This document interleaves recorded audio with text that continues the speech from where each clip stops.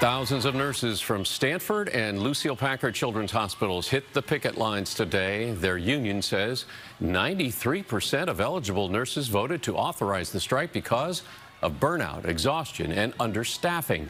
They're also frustrated over failed contract talks.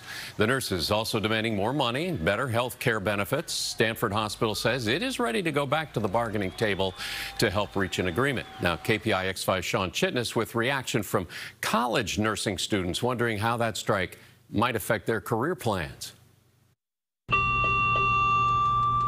There's definitely been doubt uh, there's definitely been doubt in terms of like, you know, this, this sort of responsibility.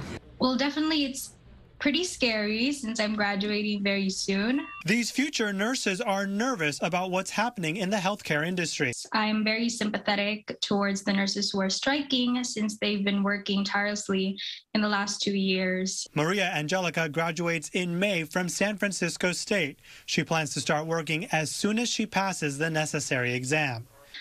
For me personally, I haven't. Um, I really stuck to the idea that I really want to be a registered nurse. She's aware of the stress nurses are facing and sees it when she works rotations as a student, but her passion for this profession can't be shaken. When my mom was diagnosed with colon cancer, and seeing how hard the nurses worked and not only taking care of just my mom but my dad and I as well. Here on campus, nursing students tell us they're concerned about what they're seeing and hearing from professionals who are striking. But they also tell us it motivates them even more to join the industry and try and make it better. It is definitely a factor.